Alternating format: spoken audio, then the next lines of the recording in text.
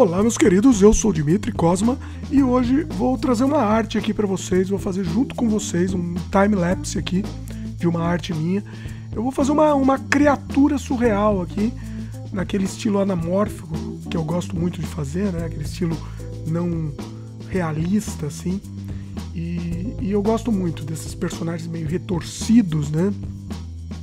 E hoje eu vou falar um pouco sobre criação, sobre deixar fluir mesmo o seu inconsciente, né? Eu não sei se você consegue reparar olhando esse time-lapse, mas eu não, não planejei essa arte.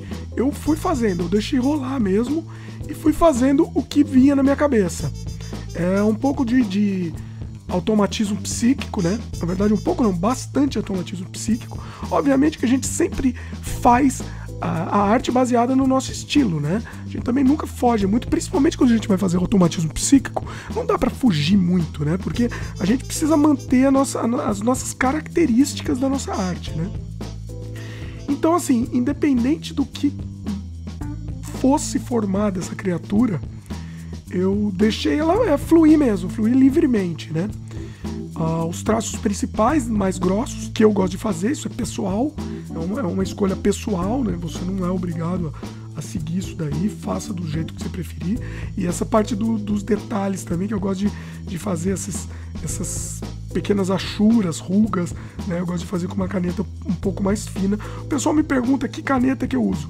Pessoal, não influencia muito, não importa muito a caneta que você usa. É uma caneta é importante ser uma caneta que funcione, que não vai te deixar na mão, mas assim, não influencia muito. Você pode usar qualquer tipo de caneta. Uh, você pode usar aqueles markers, né? Aquelas canetas de, de canetinhas mais grossas, um pouco chamadas de markers em inglês, eu não sei em português o nome dela, marca texto talvez, dependendo do traço que você vai usar, né?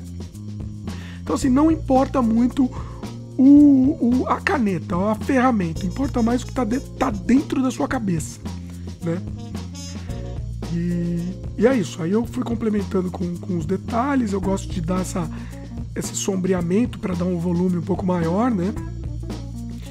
E, e fazer a criatura um pouco mais crível, né? Eu, às vezes eu gosto de fazer ela colorida, eu gosto de colorizar no computador. Um dia talvez eu traga aqui, se vocês quiserem, comentem aí que talvez eu traga aqui. Outra coisa também, eu tô pensando, comentem o que, que vocês acham. Primeira mão, tô falando aqui para vocês, em criar um canal só com arte, tá? Então assim, só para trazer minhas artes, provavelmente vai ser ou sem fala ou em inglês, para ter uma abrangência maior. Então comentem aí o que, que vocês acham, tá? Assim, gostaria muito de saber a opinião de vocês. Bom, e aí vamos continuando aí, terminando os detalhes. Você vê que eu perco bastante tempo nos detalhes, né? Eu acho que é importante dar esse volume assim. Eu acho que é importante dar essa, essa dimensionalidade, né? tridimensionalidade na arte. Então a gente estava finalizando. Achei que eu tinha finalizado. Tanto é que agora eu vou assinar lá. Fui assinar. Só que depois que eu assinei, eu vi que faltou mais um detalhe o, os braços do outro lado dele, para dar mais a, a, sensação 3D, né? Então aí eu continuei, mesmo depois de ter assinado, continuei fazendo esse detalhe que faltava. Dei também mais uma, uma sombra aí, um, uma tridimensionalidade. E é isso. Esse foi o resultado final dessa criatura 3D, esse monstro surreal. Eu não chamaria de monstro, chamaria de criatura mesmo. Uma criatura anamórfica, né? É um estilo que eu gosto bastante de fazer. É isso.